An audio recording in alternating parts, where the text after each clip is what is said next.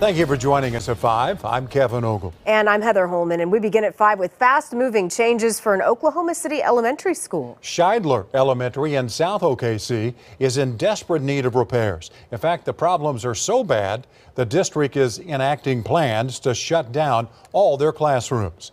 A concerned viewer sent us this email saying the children are being bused back and forth to the new school and missing one hour and 20 minutes of instruction every day. News 4's Taylor Mitchell is there tonight with more information. What are you finding out, Taylor? Well, we know that half of the students are still learning in the classrooms behind me while the others are being bused to a nearby school about a mile and a half away from here. And parents that we spoke with today are concerned with the many changes coming within the next few weeks.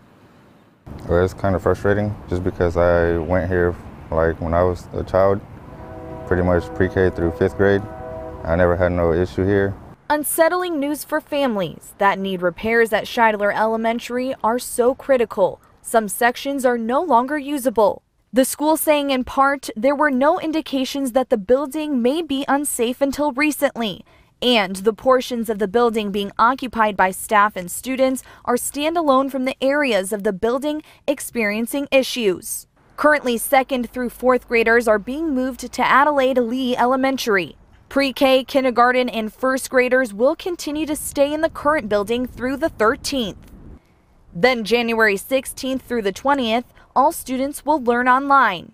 It's going to be difficult. This parent telling us his biggest concern is the next change on January 23rd, when all Shidler students will move to Adelaide Lee Elementary for the remainder of the year. Being a new, like a new student somewhere else, your your thoughts are whether my kid's going to get bullied or he's going to get accepted. So, yeah, it's pretty concerning for the most part.